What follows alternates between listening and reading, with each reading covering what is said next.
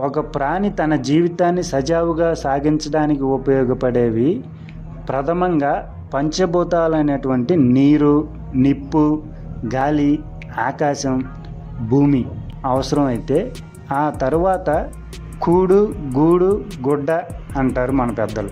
అయితే గూడు గుడ్డ మినహాయిస్తే కూడు లేకుండా జీవించటం ఎవరికీ సాధ్యం కాదనే అంటాను అందుకే ఆహారానికి ఎక్కువ ప్రాధాన్యం ఇస్తాం. రుచి పచ్చి లేకుండా తినమంటే అస్సలు తినమండి. ముందుగా ఆహారంలో రుచి తెలియాలంటే కంపల్సరీ ఉప్పు ఉండాల్సిందే. అందుకే అన్నీ వేసి చూడు నన్నేసి చూడు అంటుందట. అందుకేనేమో కొందరైతే పదార్థాల్లో ఉప్పు ఏమాత్రం తక్కువైనా సహించలేరు. ఇక్కడ తెలుసుకోవాల్సిన విషయం ఏంటంటే ఉప్పు ఎక్కువగా తీసుకుంటే స్లో పాయిజన్గా మారి ఆయుష్ క్షీణిస్తోందని కొన్ని సర్వేల్లో తెలిసింది. అయితే అందరికి ఒక డౌట్ వచ్చింది ఇప్పుడు. మన శరీరానికి రోజుకి ఎంత ఉప్పు సరిపోతుంది అని. మన శరీరానికి రోజుకు ఐదు గ్రాములు ఉప్పు సరిపోతుందండి. కానీ మనం మాత్రం పదిహేను గ్రాముల నుంచి ఇరవై గ్రాములు పాతి గ్రాములు ఎంత అయితే అంత తినేస్తుంటాం.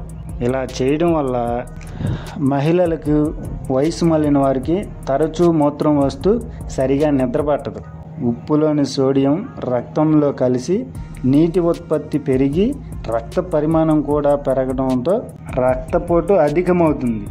అలాగే లో బీపీ ఉన్నవారు ఉప్పుని పగలు ఎలా తిన్నా రాత్రులు తక్కువ తినడం మంచిది. ఉప్పులోని సోడియం శరీరానికి అవసరమే కానీ ఎక్కువ మోతాదులో తీసుకోకూడదు. మన శరీరానికి రెండు వందల యాభై మిల్లీగ్రాముల సోడియం సరిపోతుంది. కానీ దానికి నాలుగు రెట్లు ఎక్కువ తీసుకుంటున్నామండి. ఉప్పు అన్ని రోగాలకు మూల కారణం కాబట్టే వాటి ట్రీట్మెంట్కి ఆస్తులు అమ్మినా సరిపోవని వెనకటికి ఒక సామెత ఉందండి ఉప్పు తిన్నావా అప్పుల పాలవుతావు అని. అందుకే ఉప్పుని చేత్తో ఇవ్వకూడదు అంటారు.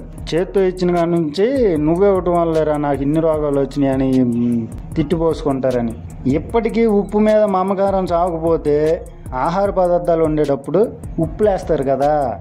అలా కాకుండా తినేటప్పుడు ఉప్పు కొద్దిగా కలుపుకొని తినేయండి అంచక్క అలాగే ఛానల్ని సబ్స్క్రైబ్ కూడా చేసేయండి.